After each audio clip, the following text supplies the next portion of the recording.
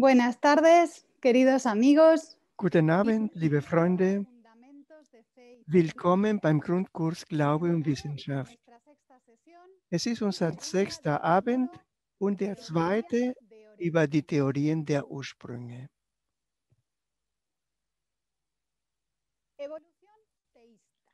Die theistische Evolution.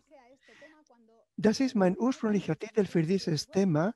Während der Vorbereitung ist mir aber klar geworden, dass die Bezeichnung Zwischentheorien besser gewesen wäre, weil der Ausdruck theistische Evolution mehrere Bedeutungen hat und einige Autoren, über die wir heute sprechen werden, nicht mit dieser Zuordnung einverstanden wären. Um also niemanden zu beleidigen, werde ich nun verschiedene Klassifizierungen der Ursprungstheorien erklären. Dann konzentriere ich mich auf die Zwischentheorien und erkläre, warum ich sie unter dem Dach der theistischen Evolution in einen Topf geworfen habe. Danach überprüfen wir einige der Probleme, sowohl theologische als auch wissenschaftliche, die diese Zwischenpositionen haben. In der Debatte über die Ursprünge neigt man oft dazu, zu vereinfachen und nur zwei Optionen in Betracht zu ziehen, Evolution oder Schöpfung. Normalerweise bezieht sich der Begriff Evolution auf die Theorie der Bildung neuer Arten und Typen von Lebewesen aus einem gemeinsamen Vorfahren. In diesem Zusammenhang wird dem Begriff jedoch oft eine breitere Bedeutung gegeben, die die Entstehung von allem durch natürliche Prozesse ohne jegliche Ziele einschließt. Eingeschlossen wäre die Entstehung des Universums durch den Urknall und die Entstehung des Lebens aus Trägermaterie, was als chemische Evolution bezeichnet wird.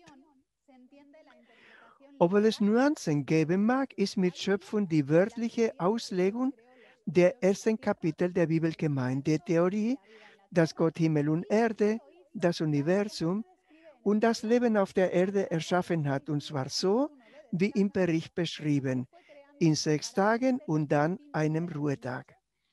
Nach und nach schuf er die verschiedenen Elemente separat, einschließlich der Pflanzen, verschiedene Arten von Tieren und den Menschen.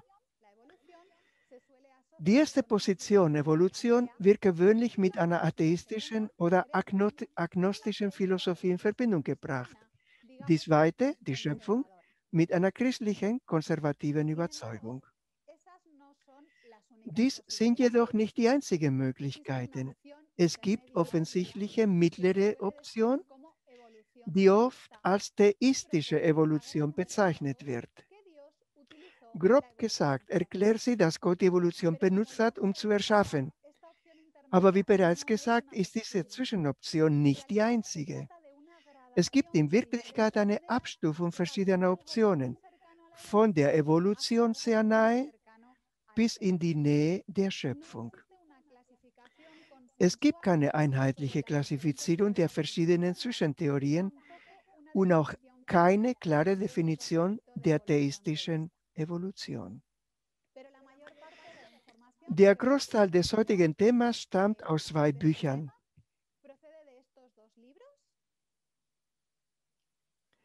Mapping the Origins Debate von Gerald Rau und dann Theistic Evolution, ein Buch von mehreren Autoren, herausgegeben von Intelligent Design Befürwortern wie Stephen, Stephen Meyer und N. Gauga. Das Buch von Gerald, Gerald Rau ist kurz und leicht lesbar. Es enthält eine Zusammenfassung der verschiedenen Ursprungstheorien.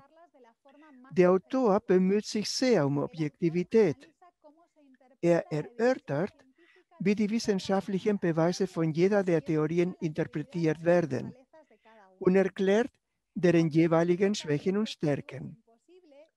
Obwohl es unmöglich ist, ganz objektiv zu sein und es Absätze gibt, in denen man die präferierte Position des Autors erahnen kann, halte ich es für ein gutes Buch, um eine allgemeine Vorstellung von der aktuellen Szene zu bekommen. Gerald Rau teilt die aktuellen Ursprungstheorien in sechs Kategorien ein. Naturalistische Evolution, nicht zielgerichtete Evolution, planmäßige Evolution, gelenkte Evolution, Kreationismus mit einem alten Planeten Erde und Kreationismus mit einem jungen Planeten Erde. Die Kategorien 1 und 6 wären die traditionelle Evolution bzw. Schöpfung. Und der Rest wären die Zwischentheorien, die oft in den Rahmen der theistischen Evolution einbezogen werden. Allerdings gibt es, wie ich schon sagte, Menschen, die die Kategorien 4 und 5 unterstützen, sich aber nicht als theistische Evolutionisten betrachten. Gehen wir auf jede Kategorie ein. Die erste Kategorie entspricht der reinen Evolution, die vom Naturalismus beherrscht wird. Die Möglichkeit eines übernatürlichen Eingriffs wird nicht zugelassen, sodass der Ursprung von allem nur durch natürliche Prozesse erklärt werden muss. Die zweite lässt die Möglichkeit eines übernatürlichen göttlichen Eingriffs bei der Entstehung des Universums zu, leugnet aber jeden späteren Eingriff. Eine Art Kraft oder Gottheit setzte den Prozess in Gang, ohne ein bestimmtes Ziel zu haben. Daher nicht teleologische, telos heißt Ziel, und ohne eine spätere Beteiligung. Nach dieser Theorie ist die Evolution, die unsere Welt und den Menschen hervorgebracht hat, nur eine Möglichkeit unter vielen. Es hätte eine andere Art von Leben entstehen können. Unser Planet könnte heute von superintelligenten Echsen beherrscht werden oder nur von Bakterien bevölkert sein. Die dritte Kategorie, die planmäßige oder geplante Evolution, ähnelt der zweiten, weil sie ein göttliches Eingreifen nur bei der Entstehung des Universums zulässt. Aber in diesem Fall hätte Gott einen Plan. Deshalb heißt sie planmäßige oder geplante Evolution. Danach hätte Gott in die ursprüngliche Materie des Universums die notwendigen Eigenschaften hineingelegt, damit sich alles nach seinem Plan entwickelt, Leben entsteht und sich weiterentwickelt, bis ein Wesen mit Bewusstsein entsteht, das fähig ist, mit ihm in Beziehung zu treten. Wichtig hierbei ist, von der Erschaffung des Universums bis zum Erwerb höherer Fähigkeiten durch den Menschen greift Gott nicht mehr ein. Alles entwickelt sich durch ausschließlich natürliche Prozesse. Aus wissenschaftlicher Sicht sind die Kategorien 2 und 3 praktisch identisch mit der ersten, da sie mit Ausnahme des ersten Augenblicks den Naturalismus und konventionelle wissenschaftliche Erklärungen für den Ursprung des Universums, der Erde, des Lebens und der Menschen akzeptieren. In allen drei Fällen gibt es kein göttliches Eingreifen in diese Prozesse oder wenn es eines gäbe, wäre es nicht nachweisbar. Die vierte Kategorie ist anders. Auch bei dieser Option gibt es eine Evolution. Aber Gott greift während des gesamten Prozesses ein. Und seine Eingriffe sind wissenschaftlich erkennbar. Diese Eingriffe würden zum Beispiel darin bestehen, höchst unwahrscheinliche Ereignisse zu ermöglichen. Wir sagten letzte Woche, dass die überwiegende Mehrheit der Mutationen schädlich ist. Aber Gott wäre in der Lage, die DNA einiger Organismen im Laufe der Geschichte zu manipulieren, um die Mutationen herbeizuführen, die zur Erschaffung des Menschen notwendig wären. Die Vertreter dieser vierten Option neigen dazu, den biblischen Bericht im ersten Buch Mose in metaphorischen Sinn zu akzeptieren. Gott sei der Schöpfer und Erhalter, alles entfaltet sich nach seinem Plan, aber die dort geschilderten Ereignisse entsprechen nicht der Wirklichkeit. Die fünfte Option ist eindeutig näher an der Schöpfung als an der Evolution und beginnt daher mit dem Wort Kreationismus. Hier wird davon ausgegangen, dass der biblische Bericht im ersten Buch Mose sich auf Ereignisse bezieht, die tatsächlich stattgefunden haben. Gott habe das Licht, die Atmosphäre, das trockene Land, verschiedene Arten von Tieren und so weiter geschaffen, aber die Schöpfungstage seien nicht als buchstäbliche Tage zu verstehen, sondern als viel längere Zeiträume. Damit ist es möglich, das Alter des Universums, des Sonnensystems und des Lebens auf der Erde mit den herkömmlichen wissenschaftlichen Schätzungen in Einklang zu bringen. Die sechste Option schließlich ist die traditionelle kreationistische Position. Der Schöpfungsbericht wird historisch verstanden und die Schöpfungswoche wird als eine tatsächlich sieben Tage a 24 Stunden Woche betrachtet, die vor etwa 6000 Jahren stattfand.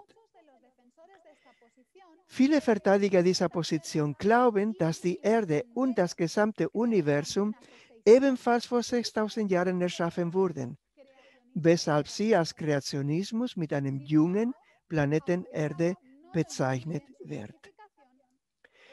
Es gibt noch eine Möglichkeit, die Gerald Rau nicht in seine Klassifizierung aufnimmt, nämlich an eine wörtliche, junge Schöpfungswoche zu glauben, aber an einem älteren Planeten Erde und ein älteres Universum.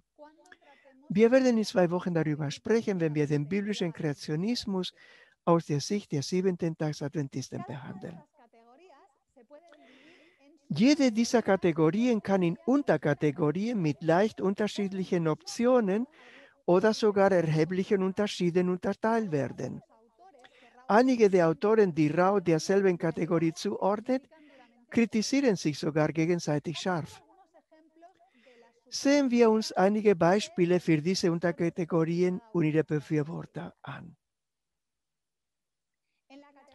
Zur ersten Kategorie, der naturalistischen Evolution gehören atheistische Wissenschaftler wie Richard Dawkins und Agnostiker wie Stephen Jay Gould, der das Konzept der sich nicht überlappenden Lehrgebiete und der sprunghaften Evolution lieferte.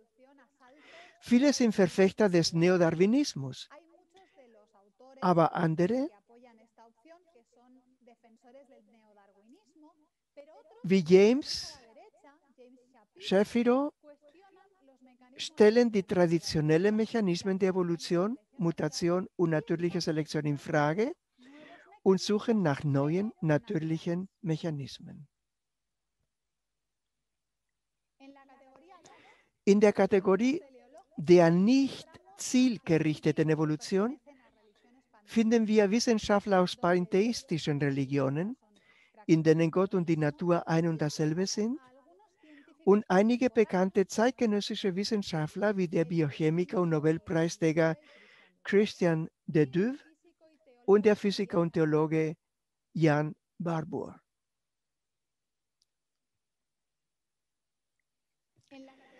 Die Kategorie der planmäßigen oder geplanten Evolution ist interessant, weil einige ihrer Verfechter sehr bekannt sind. Wir sprachen vor zwei Wochen über Francis Collins. Er und seine Kollegen von der Biologos Foundation verteidigen diese Theorie. Ihnen zufolge hat Gott die Macht, in die Natur einzugreifen. Es war aber nicht nötig, weil er die Materie des Universums von Anfang an mit der Fähigkeit ausgestattet hat, sich nach seinem Plan zu entwickeln. Und es war so perfekt, dass er nichts weiter tun musste.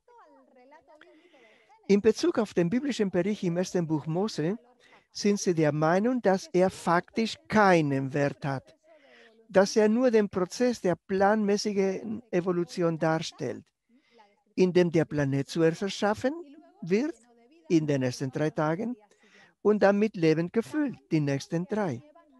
Und dass Adam und Eva nicht existierten sondern lediglich ein Symbol der Menschheit sind. Einige Aussagen von Francis Collins sind etwas verwirrend, weil er zum Beispiel sagt, Gott könnte vielleicht in dem Prozess der Mutation und der natürlichen Selektion, der den Menschen hervorbrachte, eingegriffen haben, aber dann hätte er es auf eine nicht nachweisbare Weise getan. Zur vierten Kategorie der gelenkten Evolution gehören bekannte Wissenschaftler wie Henry Schäfer und Michael Behe. Henry Schäfer ist ein berühmter theoretischer Chemiker und hat weltweit mehrere bedeutende Auszeichnungen erhalten. Er gehört einer protestantischen christlichen Konfession an, hat über 500 Vorträge vor Universitätspublikum gehalten und dabei für die Vereinbarkeit von Wissenschaft und Religion geworben. Michael Behe ist Biochemiker und Autor des bekannten Buches Derwins Blackbox und anderer Bücher. Er ist berühmt als einer der Hauptbefürworter Wörter, Wörter, Befürworter des Intelligent Design. Beide, Henry Schäfer und Michael Behe, verteidigen die Vorstellung, dass Gott die Evolution Schritt für Schritt gelenkt hat, aber sie argumentieren unterschiedlich. Henry Schäfer versucht, konservativere Christen davon zu überzeugen, dass Evolution vereinbar mit der biblischen Lehre ist. Michael Behe versucht, Evolutionisten davon zu überzeugen, dass Evolution durch natürliche Mecha Mechanismen, Mutation und natürliche Selektion unmöglich ist, wenn Gott nicht aktiv in den Prozess eingreift. Michael Behe und andere Verfechter des Intelligent Design stehen der theistischen Evolution sehr kritisch gegenüber. In der Tat ist ihr Buch mit über 1000 Seiten eine umfassende Kritik der theistischen Evolution. Allerdings ist ihre Definition der theistischen Evolution ziemlich restriktiv, sodass sie die vierte Kategorie nicht einschließt. Sie besagt, Gott hat die Materie erschaffen, Gott hat die Materie erschaffen und danach nicht gelenkt, eingegriffen oder direkt gehandelt, um irgendeine empirisch nachweisbare Veränderung im natürlichen Verhalten der Materie zu bewirken, bis sich alle Lebewesen durch rein natürliche Prozesse entwickelt haben. Diese Definition der theistischen Evolution umfasst die Kategorien 2 und 3 und wird logischerweise von Intelligent Design abgelehnt, dessen Hauptprämisse ist, die Welt und die Lebewesen zeigen klare Beweise dafür, dass sie entworfen wurden. Allerdings fallen nicht alle Autoren, die mit Intelligent Design in Verbindung gebracht werden, mit Bihi in Kategorie 4. Einige von ihnen gehören zur fünften, andere zur sechsten Kategorie. Den Grund dafür und weitere Details werden wir nächste Woche sehen, wenn wir uns dem Intelligent Design widmen. Wir kommen nun zu den Kategorien 5 und 6, die unter den Kreationismus einzuordnen sind. Die fünfte Kategorie Kreationismus mit einem alten Planeten Erde hat mehrere Unterkategorien. Nach der sogenannten Lückentheorie gab es eine erste uralte Schöpfung, die von Satan, Satan korrumpiert und schließlich zerstört wurde und die Erde in Unordnung und leer zurückließ. Der Bericht in 1. Mose würde eine zweite Schöpfung beschreiben. Die Fossilien wären Überbleibsel der ersten. Nach einem anderen Modell wäre jeder Schöpfungstag ein geologisches Zeitalter, das tausend oder Millionen von Jahren dauerte.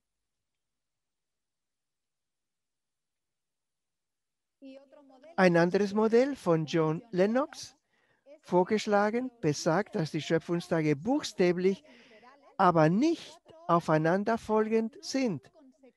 Tage, an denen Gott bestimmte Schöpfungsakte vollzog, getrennt durch sehr lange Zeiten, in denen Gott lediglich das, was bereits geschaffen war, aufrecht erhielt.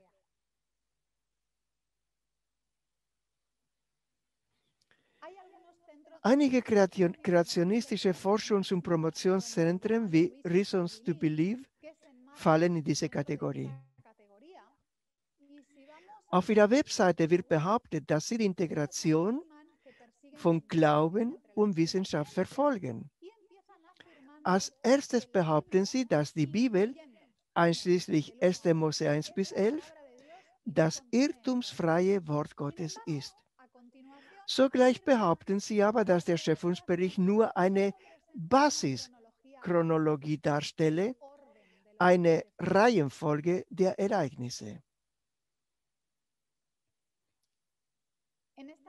In dieser Kategorie finden wir auch Intelligent Design Befürworter, Befürworter wie Steven Meyer und andere. Schließlich kommen wir zur sechsten Kategorie, dem Kreationismus mit einem jungen Planeten Erde. Sie ist charakteristisch für kreationistische Forschungsinstitute wie das Institute for Creation Research, Creation Ministries International und Answers in Genesis. Hier finden wir auch einen Intelligent Design Befürworter wie Paul Nelson, und uns bereit, bereits bekannte Wissenschaftler wie John Sanford.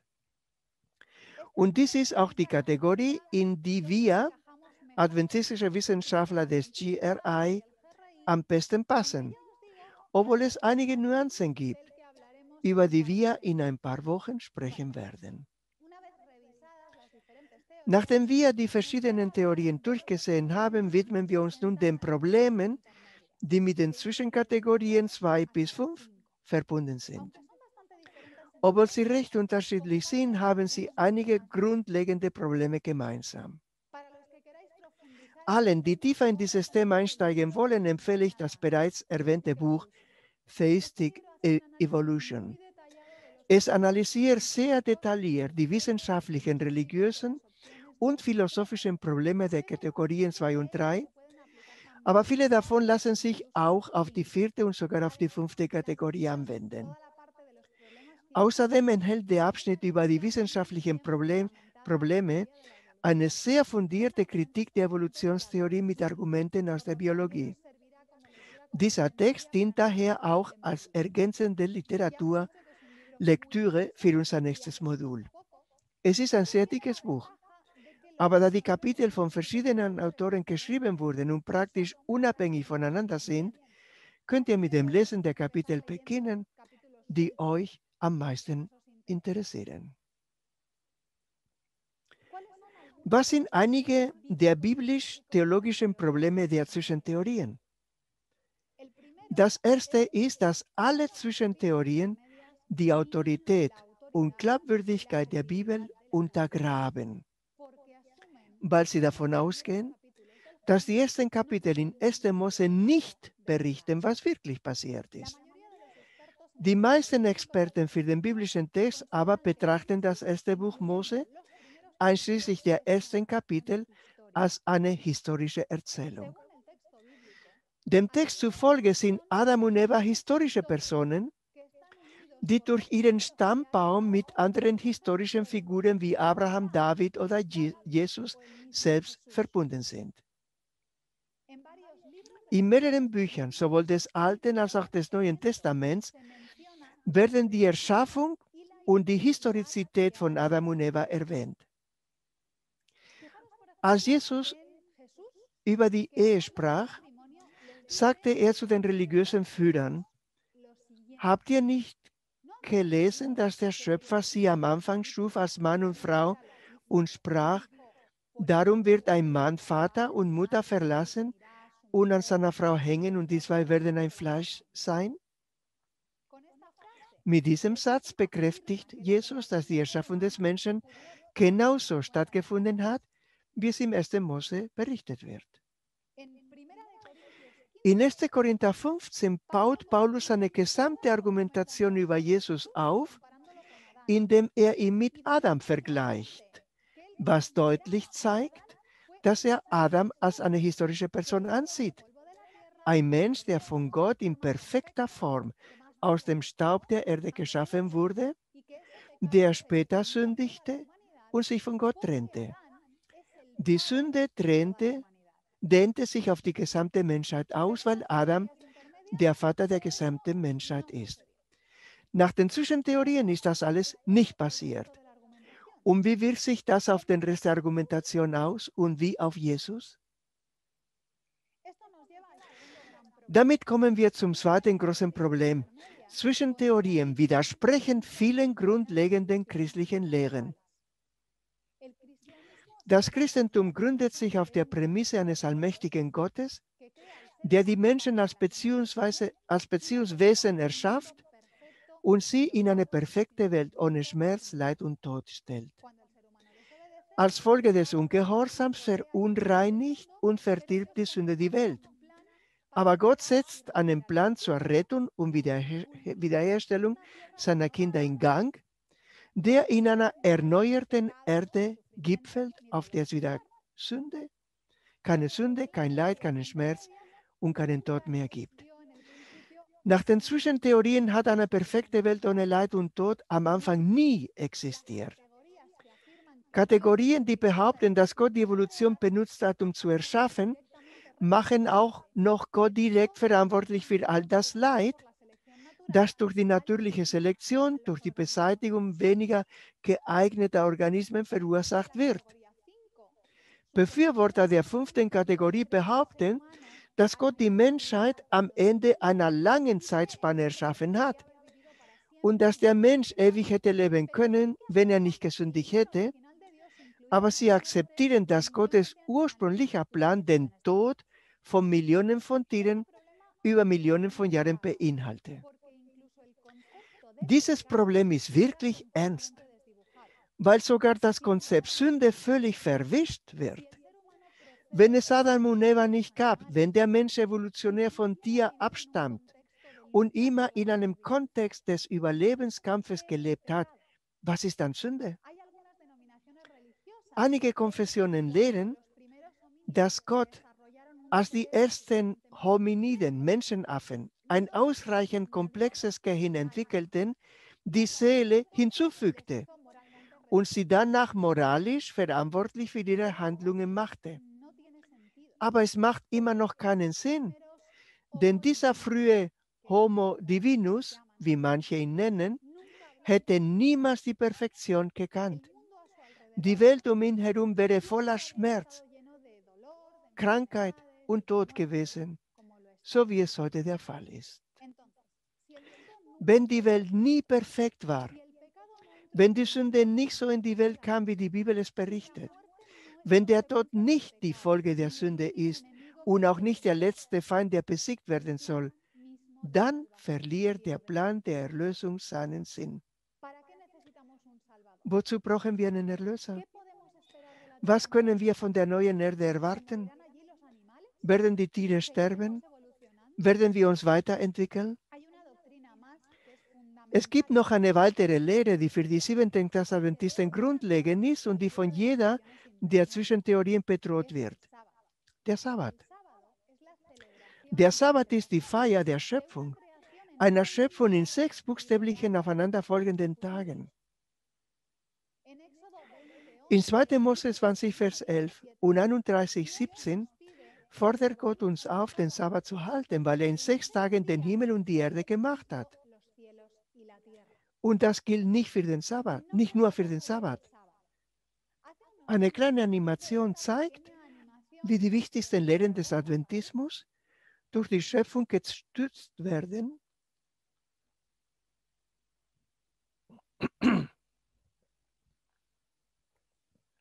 Und was mit ihnen geschieht?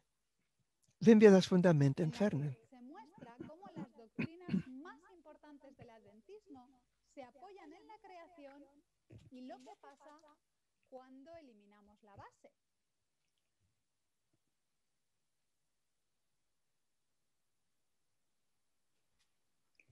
Hay otros problemas teológicos asociados a las opciones Es gibt intermedias. weitere theologische Probleme, die mit den Zwischentheorien verbunden sind. In dem Dokument mit zusätzlichen Ressourcen findet all, finden alle, die dieses Thema vertiefen wollen, eine Literaturliste. Aber ich möchte darauf hinweisen, die the- theistische Evolution verzerrt das Bild Gottes ernsthaft.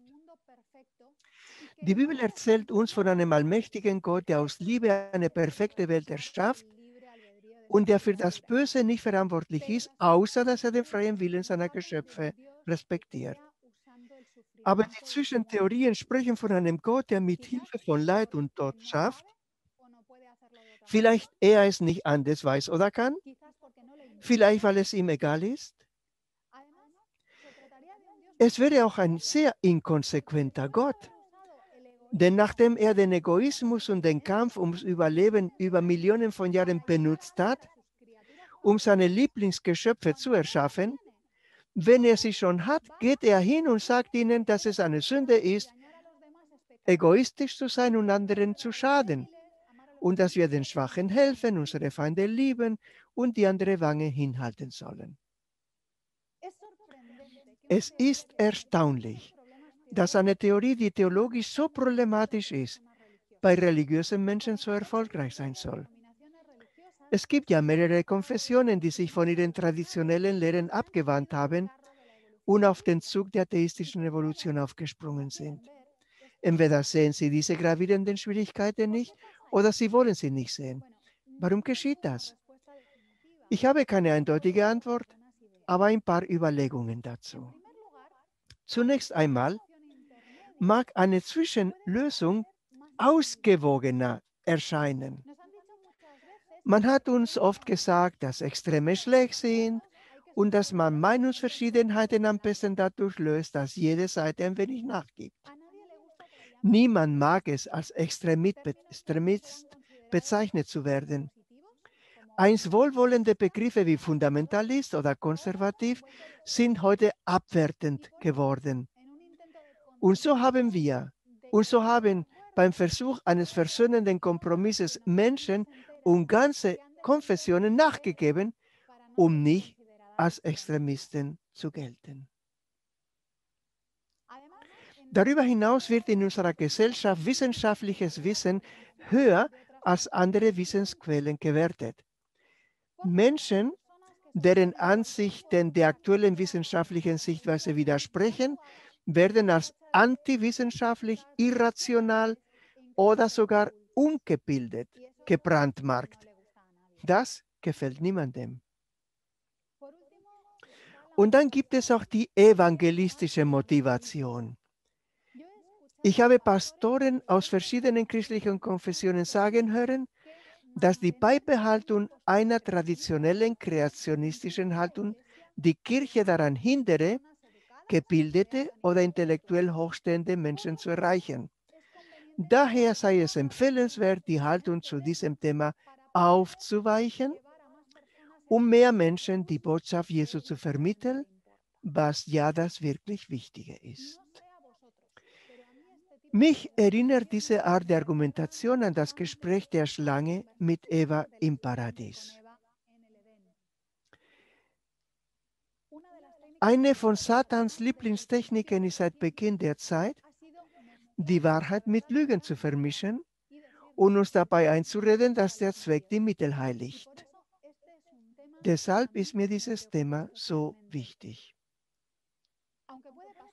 Für einen jungen Menschen, der kirchlich beheimatet ist, Jesus seit seiner Kindheit kennt, die Bibel liest und betet, ist es eher unwahrscheinlich, dass er sich plötzlich entscheidet, nicht mehr an Gott zu glauben und Atheist und Evolutionist zu werden.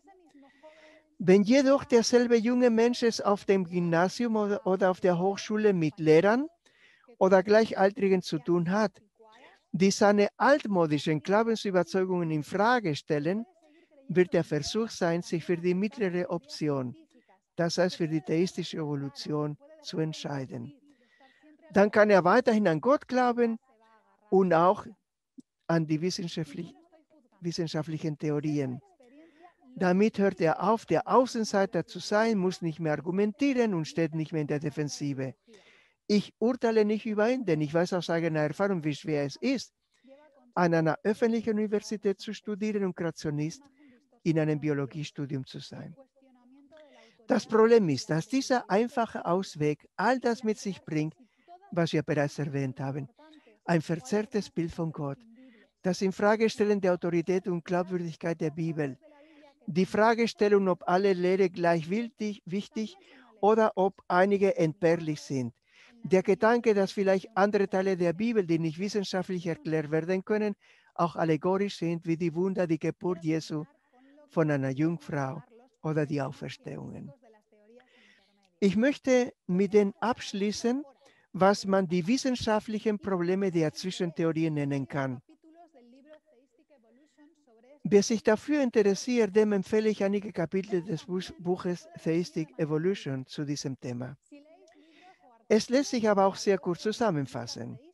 Die Argumentationslinien theistisch-evolutionistischer Autoren sind meist ähnlich, unabhängig von der Kategorie. Sie basieren in der Regel auf dieser Prämisse.